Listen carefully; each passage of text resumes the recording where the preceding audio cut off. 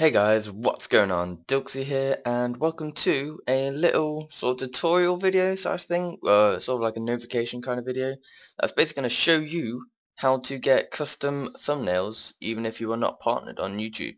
Now I don't know if um, anyone has done this before, so I didn't really know about this until now, but I'm sure it's how glad that has happened. So I'm just going to show you quickly um, an example.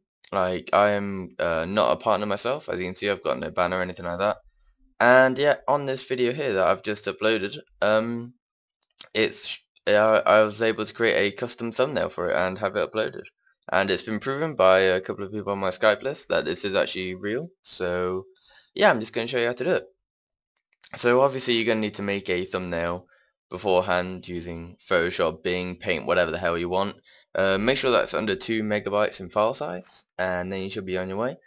But um, basically when you've uploaded your video, uh, so if you add a video and then upload it, basically at the end it will say uh, at the bottom, I'll just do a quick one now.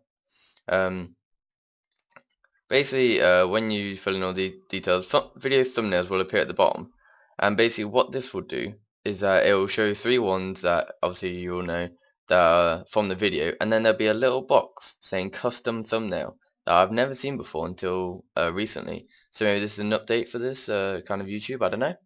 But um, yeah that's how to do it there and then you just add in your custom thumbnail and then you're set.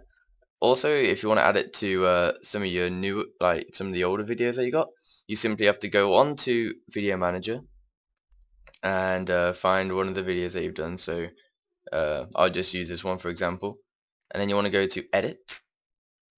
And then you should be able to see here uh, set thumbnail, set not thumbnail, set thumbnail then a custom one. So it says maximum file size of 2 meg.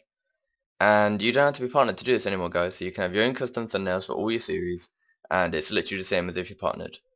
So I hope you guys have enjoyed this video. If you did then please do click that like button and subscribe to see more. And I'll see you guys next time Thank you for very much for watching. Hey guys, thank you for watching this video. If you did like it then please do click that like button and comment giving me some feedback. If you want to watch the previous video then click top left. Next video for top right and if you want to see a surprise video click bottom left. Also if you want to watch from the beginning of the series click the bottom right. Peace.